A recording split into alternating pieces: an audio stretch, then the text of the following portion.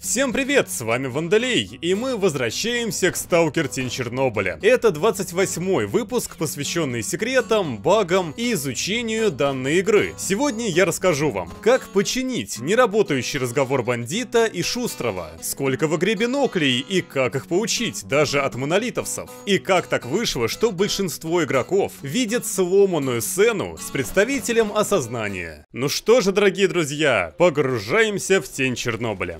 Перепроходя игру в очередной раз, я решил присмотреться к доске объявлений в X18. Вроде всегда она здесь висела, но только сейчас я подумал, как нелепо это выглядит. Сами подумайте, зачем в секретной лабе висят объявления? Сниму квартиру, куплю квартиру, куплю золото. Сразу чувствуется какое-то секретное место. И ведь телефончики кто-то даже отрывает, может быть снорки? По идее в этих объявлениях вообще используются киевские адреса. Например, видна площадь Славы. А конкретно, Коммунистическая партия Украины приглашает работников лаборатории на первомайскую демонстрацию на Киевской площади Славы. Дело в том, что разработчики сфотографировали реальные объявления в своем городе и в фотошопе превратили фотографии в такую текстуру. Это видно потому, как повторяются многие фрагменты. Еще можно рассмотреть объявление с обращением к женщинам. Это тоже довольно смешно, учитывая, что объявление висит в зоне. А применив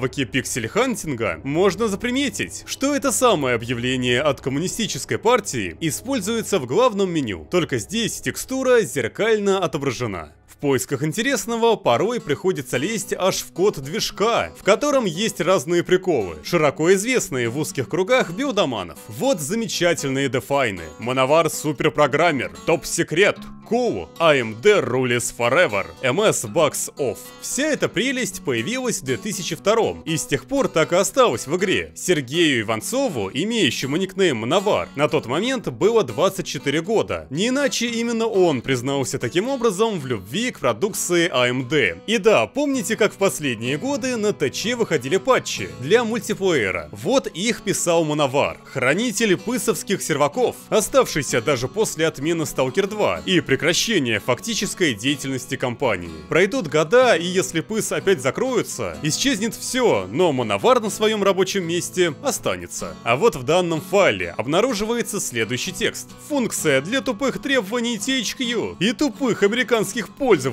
Этот эмоциональный комментарий связан с кодом, который был написан по требованию THQ. Заключался он в том, чтобы игру нельзя было запустить на ведрах, если у вас недостаточно оперативной памяти, или оперативной памяти подкачки. В общем, тупыми автор назвал тех пользователей, которые не читают минимальные системные требования и будут пытаться запустить игру на слабых системах. Именно для таких пользователей и писался код, чтобы у издателя не было проблем с жалобами, почему у меня игра идет в 2 FPS. Как вы поняли, внутри игры много комментариев разной степени интересности. Например, открываем файл инфопоршней армейских складов. И здесь все подписано. Где инфопоршень выключения матюгальника, где избиение патруля свободы, а где некие охотнички мля. Это инфопоршни вырезанного квеста. И довольно интересного. По нему Скряга отправлял нас в деревню, где сталкеры шли к водонапорной башне. Но тут появлялся контролер. Подробнее квест показан мной вот в этом видео. О билде 2232. Кстати, в билдах в энциклопедии, в статье про контролера как раз был его скриншот, сделанный у этой водонапорной башни. К релизу задание заменили на банальный квест уничтожить кровососов в деревне. Причем, если сначала отправиться к Угрюмому, то мы сможем взять у него квест убить кровососов, а потом еще один у Скряги. Но и это не предел. Охотник в баре тоже просит нас убить кровососов в той же самой деревне. То есть мы можем взять три аналогичных квеста одновременно. И это тоже еще не все. Лукаш имеет набор самых разных заданий, чего он только не просит. И вынести блокпост долго на свалке, и уничтожить военных на агропроме, и среди прочего он тоже может выдать задание на уничтожение кровососов. Таким образом в игре целых 4 одинаковых заказа на сосочей в одной и той же деревне.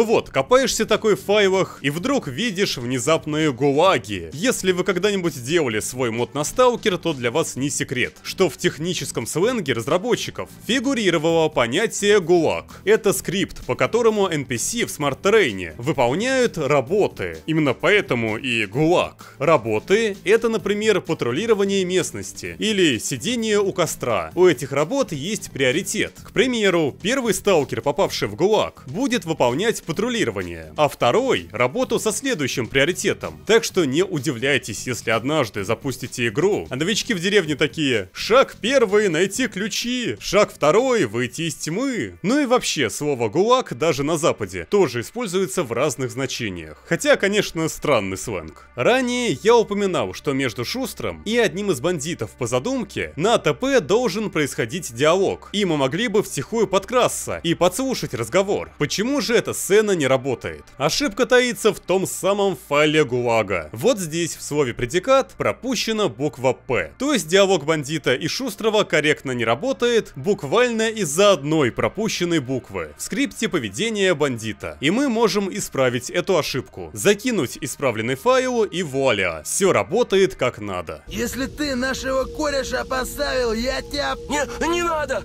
Капец себе, если обману. Нет-нет, не обманул я. При этом технически бандит говорит сам собой, потому что фразы Шустрого тоже привязаны к нему. Ну смотри, урод, ежели наплел про схрон, амбец тебе, бля, на костре зажарим. Да это правда, честное слово. Еще можно открыть файл с квестами на армейских складах и найти здесь оставшиеся тестовые задания по типу «Зайти в рестриктор».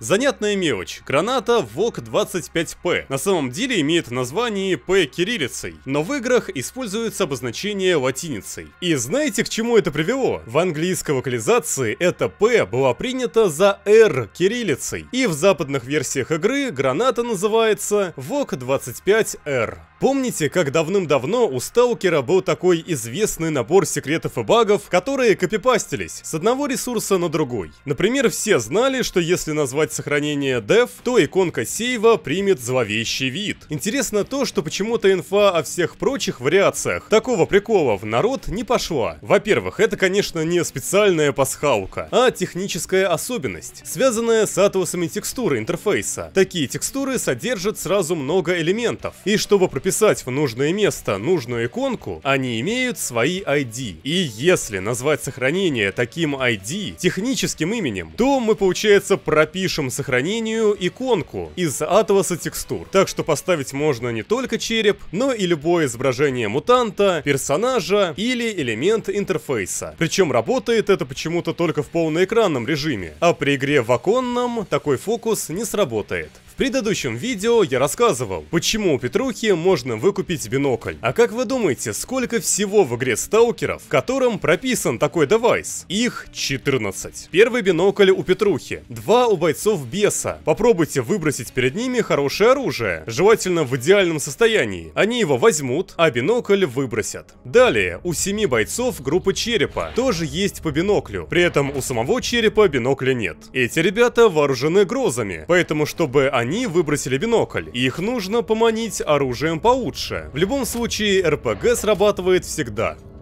В начале радара находится пост монолитовцев из четырех человек, двое из которых смотрят в бинокле. При этом прописаны бинокли всем четверым. Далее я бросился в самоубийственную атаку доброй воли, предлагая фанатикам РПГ. И один бинокль выбить все-таки получилось. Наконец, еще один, пятнадцатый бинокль, лежит на ЧС, на точке с командиром. И, конечно, бинокль как предмет есть у главного героя. Он лежит в специальном слоте, который просто не отображается. А вот в билдах, кстати, он отображался. Интересный факт. Бинокль основан на движковом классе пистолета, а болт на классе гранат. Именно по этой причине они оба недоступны в зонах без оружия. Знаете ли вы, что многие костюмы имеют бамп от долговской брони, в том числе ветер свободы и монолитовский комбез, которым этот бамп не подходит. То есть у моделек выпирает не то и не там. Вот так надеваешь ветер свободы, а в душе все равно долговец.